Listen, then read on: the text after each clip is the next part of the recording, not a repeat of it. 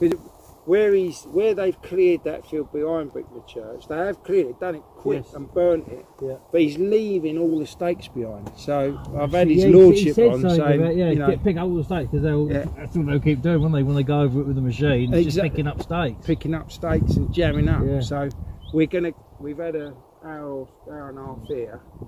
We're gonna come back and pick up what James um, earlier on in the week said what's going on and everything. So is your dad away? No, he's here. Do you want to talk to us? I said no, no. no.